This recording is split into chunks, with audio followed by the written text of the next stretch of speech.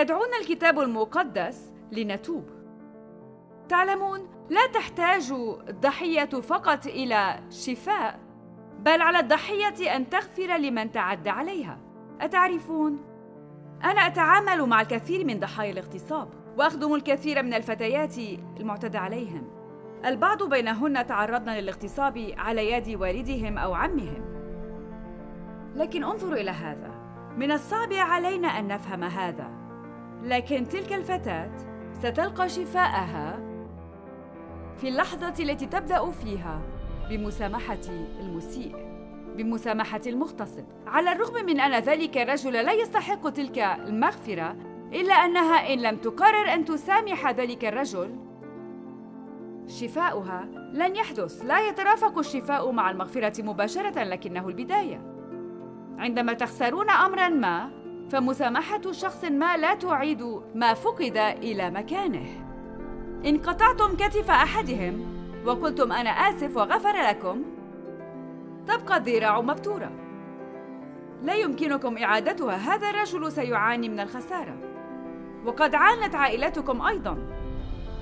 لكن المغفرة ستبدأ عمل الترميم. ستبدأ عملية إزالة اللعنة عملية إزالة التكبر. كان على الله أن يزيل كبرياء التركي. كان عليه أن يزيل حتى مشاعري القومية. كان عليه أن يزيلها. وأن يريني أنتم تعرفون كبرياء العثمانيين مع تاريخهم. تعرفون ذلك. أنا كنت واحدة منهم. لكن الله أراني أمرا أكبر. أراني أن موطني مكان آخر. عندما أراني أن موطني مكان آخر لم يغير هذا. لا أزال أتكلم اللغة وأحب الطعام ولدي عائلة. لكن أتعلمون قد غير هذا قلبي. قد غير وجهة نظري. فلم أعد أرى الناس المختلفين عني على أنهم أقل مني أو بأنني أسمى منهم بسبب جنسيتي. رأيتهم على أنهم متساوون معي.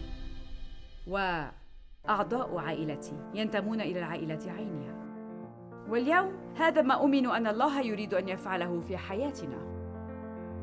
أتى يسوع المسيح ومات على الصليب. ونحن دائما نولي انتباها إلى كلمات الشخص الأخيرة. قال اغفر لهم لأنهم لا يعلمون ماذا يفعلون. يريد الله أن يفعل ما هو أعظم في حياتنا. لكي يغير ليس فينا فحسب. بل في عائلاتنا وفي أحفادنا.